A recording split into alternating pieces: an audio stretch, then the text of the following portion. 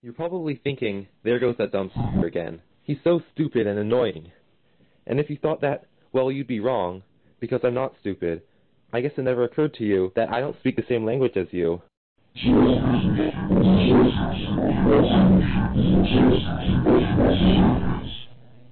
Oh, and also, if you thought my name was you'd be wrong again, because uh, uh, my name is but the reason people think my name is name is because I come from a group of